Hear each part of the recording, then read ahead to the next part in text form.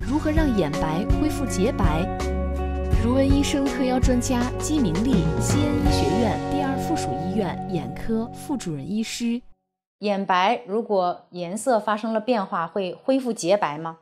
呃，平常生活中可能有些人会发现自己的眼白不像小孩子那么白了，有点发黄。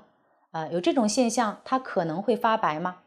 啊，当然，如果你是在一个短期之内发现有眼白的发黄，甚至伴有一些全身的消化系统病变的时候呢，建议呢还是要积极的去医院检查，来排除一下全身疾病，比如肝病，呃等等引起来的眼白的发黄。但是如果说没有全身的疾病，仅仅是眼白的发黄，它是不通不可能通过什么治疗把它恢复洁白的。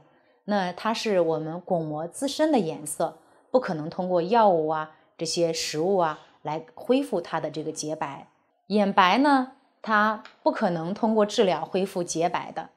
就像我们的皮肤一样，啊，当你三十岁的一个人的皮肤，它跟小孩子的皮肤能一样吗？哎，它是通过年龄啊、紫外线的照射啊。以这些原因慢慢发生改变的，那么我们的巩膜的这种眼白的颜色，它也是这样子的。它有由由于紫外线呐、年龄的原因，它会慢慢的不像小孩子的时候那么白，所以它不可能通过治疗恢复洁白的。